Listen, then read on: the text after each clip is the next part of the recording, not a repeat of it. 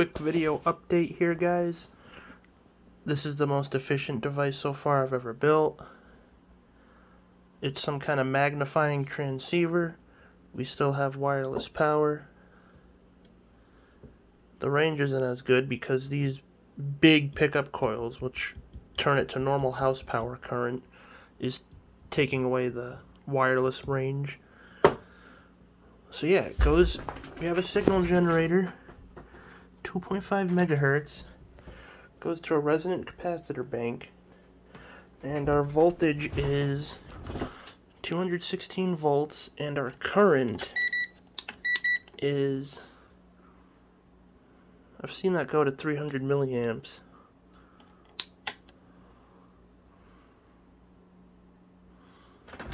You know we have almost a little under 60 watts of usable power and we I mean we got power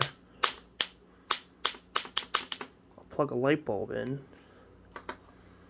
you'll see how bright it gets. Like, look at that.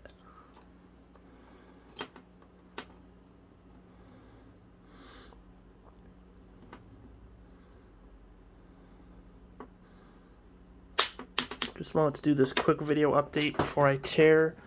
Well, no, I'm not going to ruin it. I'm just going to take all these pickup coils off, which are adjustable. That's the key. That woo, they have to be adjustable. This is the primary. This is the secondary. All these are wireless pickup coils, resonant caps, wireless light.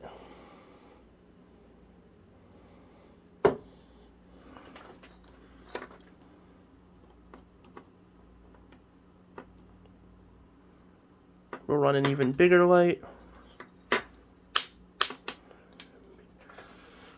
Run this guy. This is 100 water, half intensity because we're kicking out 50 watts.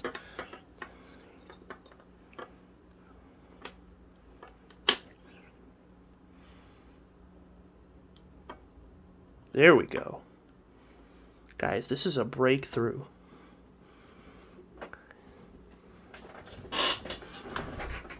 This is absolutely a breakthrough.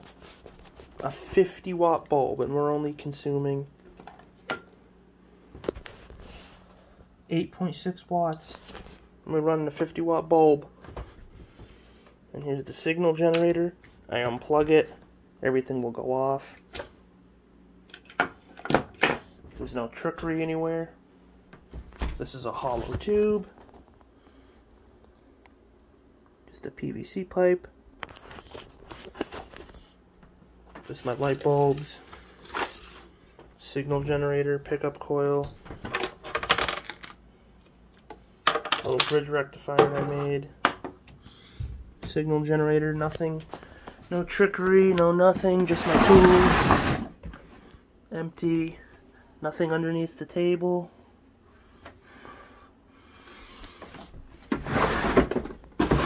This device is very close to being self-running. I could do it right now. I just need to convert the power to safely run this. I'll plug it back in turn it on. Tune for, you see it get brighter as I tune. And if I get too far out of tune, it will go out. See? There it comes on, goes off. Go to 2500, it's the brightest.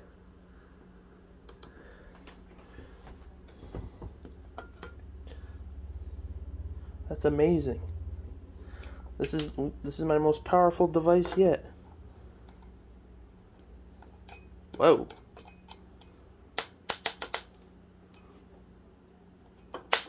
Oh, it can even run a motor. I'll show that. I have to find where the motor went. This signal generator can only kick out 10 watts at most. It goes through this system, which is tuned to the sun. You'll then get over 50 watts out, depending on your pickup coil configuration. Whoa. Give a little bit of a kick. This is a 120 volt drill motor that came out of a drill.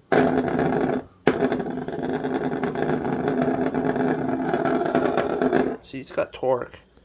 It's going.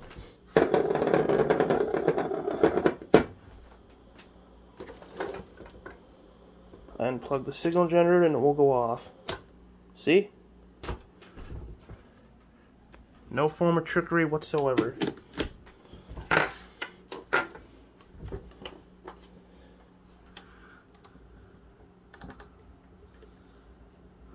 Twenty-five hundred, bit of a kick, and then she goes.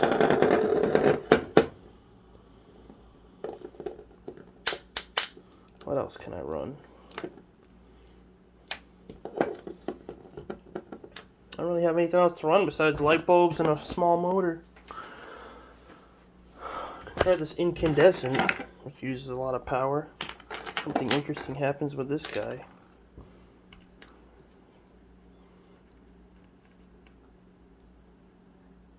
Whoa, he gets bright for a second and then goes out.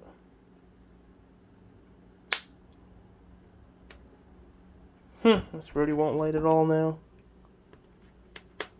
Maybe I blew the filament. Yeah, filament's busted. That initial spike from the caps might have busted it. Oh wait, nope, he's going. Maybe, maybe I can tune it. No, maybe. Ooh, no, something's happening.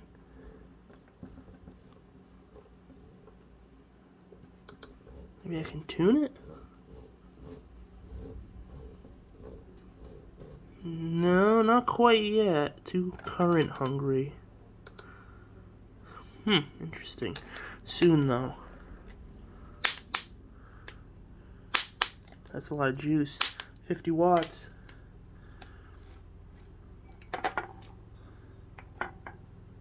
I love these light bulbs. Again, we'll do one last power reading. Oh, I'll show you can run this LED light. So see, it's on, plugged in normally. I unplug my light.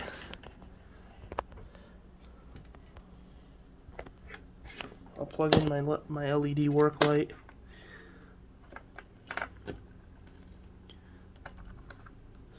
And he comes on. Full brightness. Because he's less than 50 watts. These step down coils, ooh, it's sensitive to tuning, see? I touch the coil, it fades. But I can tune it even brighter. Yeah, that's full brightness right now.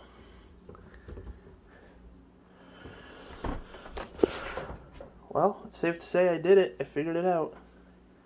Everything has to be adjustable. Secondary coil goes that way other one goes this way, and you need amplifier diodes, which are these. You have to have these on the end of each coil, otherwise it will not work.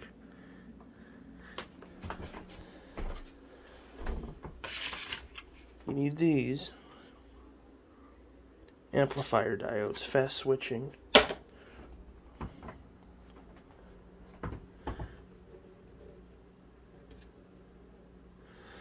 Anyway, I'll plug him back in normally.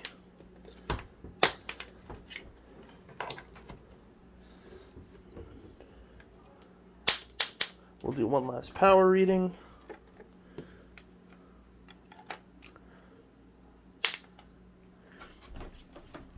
Two hundred seventy-four milliamps at two hundred and five volts, and that's real power passes a 12 volt load test, passes a 9 volt load test. It'll obviously pass overload the 1.5 volt battery test.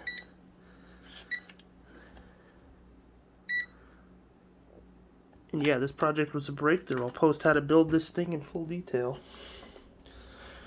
Oh, and just something interesting, while it's shorting out, we still have wireless power. Even when it's shorting out.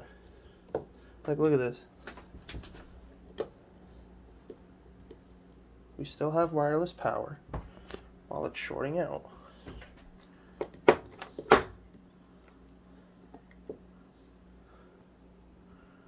This system doesn't drain itself in any way. It just duplicates the energy as long as you have those amplifier diodes at the at the end of each coil. I can't get over how cool this is.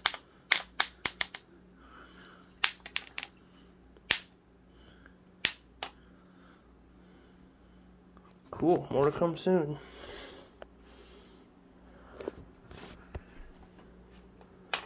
Finish the video with running this light bulb.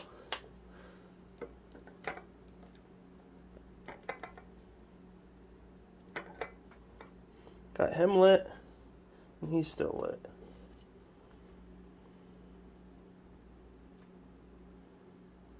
No power reductions at all.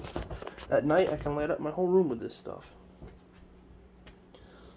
Unplug the signal gen, or I just shut it off. Goes out.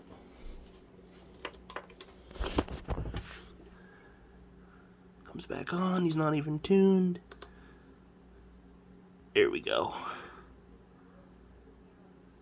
Okay, more to come soon.